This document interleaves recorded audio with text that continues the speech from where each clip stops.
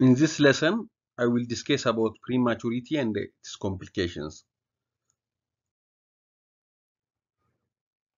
A delivery date is determined at 280 days after the first day of last menstrual period.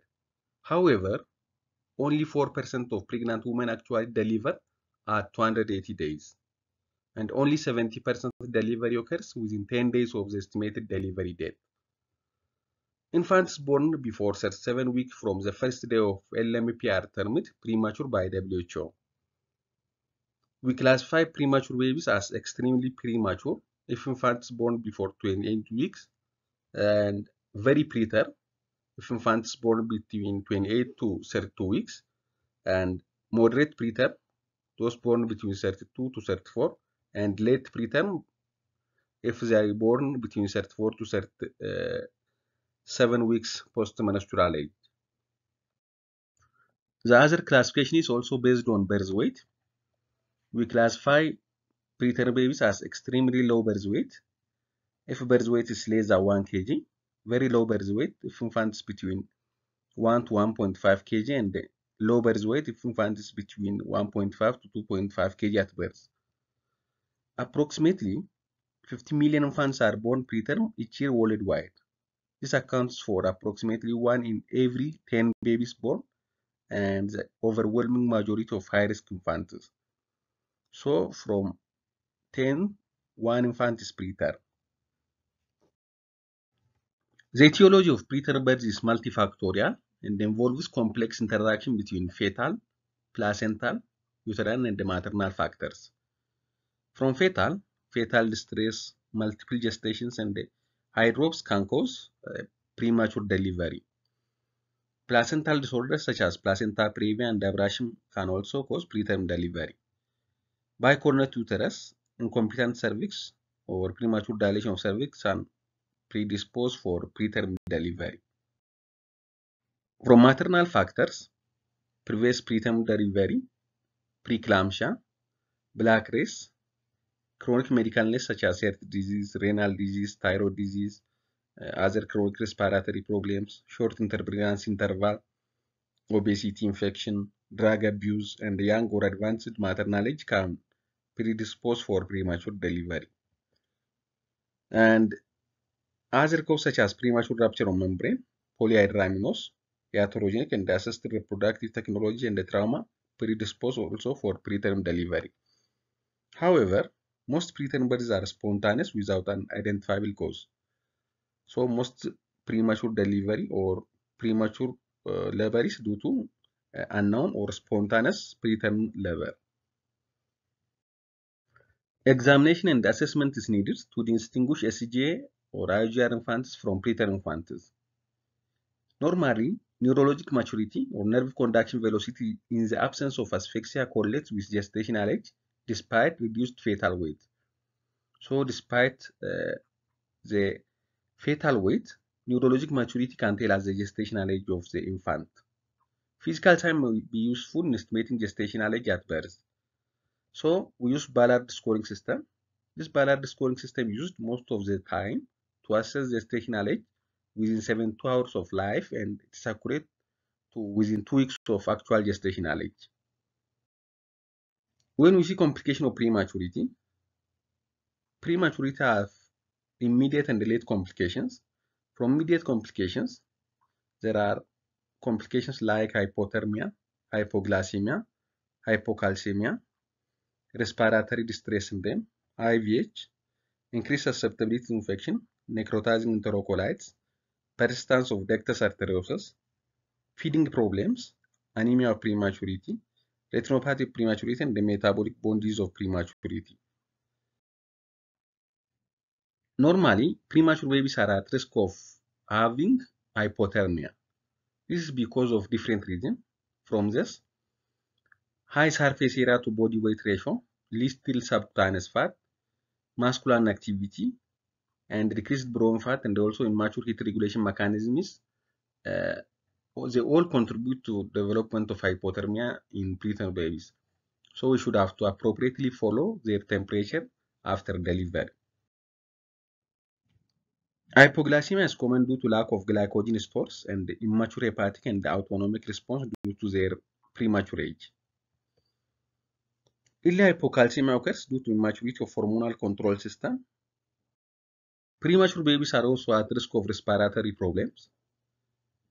They develop respiratory distress syndrome or hyaline membrane disease due to surfactant deficiency, which may cause respiratory failure. There is also called apnea of prematurity because of immaturity of respiratory center that leads to periodic breathing and frequent apneic spells. IVH is also common in preterm infants due to immature vasculature of the uh, CNS, disturbed cerebral autoregulation of blood flow, and the clotting factor deficiency due to immature liver. They are also at risk of infection. It results from lack of protective maternal immunoglobulin, which are transferred across the placenta during the last trimester. In addition to this, delicate surface of skin and the mucous membrane also predisposes to infection. Insertion of IV cannula, endotracheal tubes, NG tubes, uh, or other iatrogenic causes also increase the risk of infection in preterm babies. Preterm babies are also at increased susceptibility to develop necrotizing enterocolitis due to immaturity of gut endothelial surface and enzyme deficiency.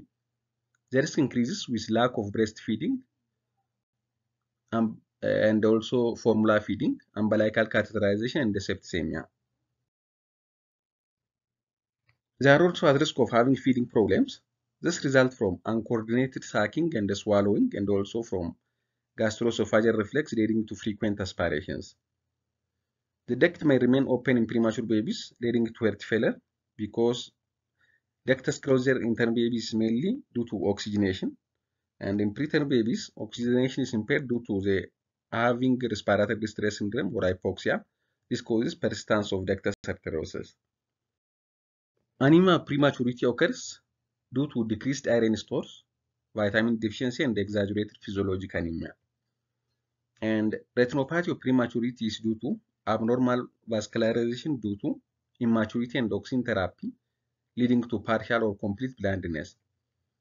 This is due to prolonged uh, exposure to oxygen, which causes uh, damage to young blood vessels of the uh, retina of the newborn. This causes retinopathy of prematurity. Metabolic bone disease of prematurity occurs because of lack of substrate and vitamin deficiency, uh, which causes rickets. Normally, calcium and phosphate transfers from mother to newborn uh, during third trimester of pregnancy mainly. This causes uh, adequate storage of calcium and phosphate for term newborn boy. But in preterm babies, they born before adequate transfer of calcium and phosphate from mother and also vitamin D. This causes rickets of prematurity. When we see long-term problems, the long-term problems or long-term complications are chronic lung disease or bronchopulmonary dysplasia, poor growth, and the CNS dysfunction. Chronic lung disease or bronchopulmonary dysplasia occurs due to prolonged ventilation and oxygen toxicity, which results in chronic oxygen dependency. And also growth is restricted due to feeding problems, vitamin and iron deficiency. Uh, preterm babies are also at risk of having uh, different CNS dysfunctions. The most common is uh, due to intraventricular hemorrhage, which causes post-hemorrhagic hydrocephalus. This can cause cerebral palsy and also hydrocephalus. Learning problems, deafness, mental abnormality can also be seen. Uh, when we see the management of newborn baby, always proper resuscitation at birth, early stabilization of vital signs, prevention of hypothermia and hypoglycemia in the delivery room is related with good outcomes with minimal complication. If baby is of good size and vigorous, then by simple cleaning airways, wrap the baby properly and shift to well baby nursery with instruction of early feeding and the monitoring for hypoglycemia and hypothermia. If a baby weight is very low or less than 1 kg, then electively intubate the baby and shift to NICU for ventilator care. Babies weighing 1 to 1.5 kg should also be shifted to NICU for observation and the management of potential complication and uh, issue of feeding. After birth care, maintain thermoneutral environment, maintenance of fluid and electrolyte balance, oxygen administration, feeding, supplementation of iron and the vitamins, protection from infection, early detection and the management of complications of prematurity and immaturity of drug metabolism should always consider. Thermoneutral environment is environmental temperature at which heat production and oxygen consumption is minimal, yet the core temperature is maintained within normal range. So we should have to maintain temperature of nursery in a range of 25 to 30 degrees Celsius. Place the baby incubator and keep humidity at 70%. Temperature of incubator varies with age by setting air temperature or by setting skin temperature of baby. For less than 1 kg, 35 to 37, and for more than 2 kg, 31 to 33 is used. For those between 1 to 2 kg, 32 to 35 is used. Temperature can be maintained by the use of radiant heaters, by wrapping the baby properly, and by the use of mitten on hands and socks on feet and cap on head if nursed in. The other is about the issue of fluid and electrolyte balance. Preterm babies need more fluids as compared to full-term babies. On the first day, for preterm babies, we should have to start from uh, 60 to 80 ml per kg per day and increase 20 ml per kg per day up to the uh, fifth day. At fifth day, most of the time, we should have to give them around 150 to 160 ml per kg per day. Excessive fluid interferes with closure of ductus arteriosus and uh, decreased amount of fluid also uh, causes dehydration and uh, predispose for electrolyte abnormalities. So we should have to maintain fluid and electrolyte appropriately. Baby should be carefully monitored for hypoglycemia, hypo or hypernatremia, hyperkalemia by frequent blood sample and their correction. About oxygen administration. Oxygen administration should be carefully monitored in very preterm infants because concentration of oxygen more than 40% increases the risk of lung and visual toxicity. The the one that we have said, bronchopulmonary dysplasia and retinopathy or prematurity, uh, respectively. The method of feeding should be individualized as varies with weight and the gestational age of infant. The process of oral feeding in addition to sucking requires coordination of swallowing, epiglottic closure of larynx, and normal esophagus motility, a synchronized process which is usually absent before 34 weeks of gestation. So before uh, 34 weeks of gestation, they doesn't coordinate those things. So uh, even if they can feed, it's better to give them by nasogastric tube. If the infant is more than 35 weeks of gestation and weighs more than 2 kg and there is no con uh, contraindication of feeding like persistent vomiting, distress, sepsis, seizure, NEC, and he can be started on oral feeding preferably by breast milk or infant formula with bottle or cup and a spoon. If baby cannot suck and the general condition is better, tube feeding is preferred. If very sick or premature, then total or partial parenteral nutrition is also the choice. The other is about the issue of supplementation of iron and the vitamins. Every preterm infant should receive supplemental vitamins in addition to breast milk until full mixed feeding is established or until their weight is more than 2.25 kg. All preterm babies should receive vitamin K prophylaxis at birth. Requirement of vitamin A, D, B6 and C is fulfilled by simply prescribing uh, multivitamins that contain those things. For all preterm babies, iron supplementation should be started at the age of 4 to 8 weeks at dose of 2 mg per kg per day elemental iron. Before this age, it is not well absorbed and also increases the risk of Uh, gastrointestinal infection and also predisposed to vitamin E deficiency hemolysis. So most of the time we start after 1 to 2 months. Due to renal and hepatic immaturity and the diminished renal and hepatic clearance of almost all drugs, intervals between those should also be extended according to their gestational age. Proper antiseptic measures should be taken in maintenance of nursery incubator and other equipment and in addition proper hand washing, cleansing of preterm baby, proper cord care are very important. All procedures in nursery should be done with strict aseptic measures. Regarding prognosis, it is related to gestation and the birth weight.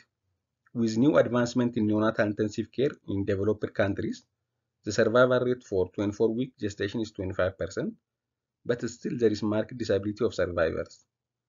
5 to 10% of babies with preterm babe, uh, weight less than 1.5 kg have major handicaps such as cerebral palsy, developmental delay, and blindness or deafness. Risk increases with decreasing gestational age and weight.